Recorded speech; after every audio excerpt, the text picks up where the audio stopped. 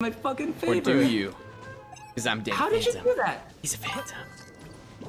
Yo, Danny Fenton, he was just 14 when his parents built a very strange machine. It was designed to view a world unseen. He's gotta get your mom cause he is Danny Phantom. Didn't quite work, as How do you most know they the just went. And Danny took a look inside of it. There was a great big flash. Everything just changed. His molecules got all rearranged. Phantom Phantom, when he first woke up, he realized he had snow white hair and glow green eyes. He could walk through walls and hair and fly. He's much more unique than the other guy. But then Danny knew what he had to do. He had to stop all the ghosts that were coming through. He's here to fight for me and you. Your he's Danny Phantom. Gotta get your he's Danny Phantom. Gotta get your he's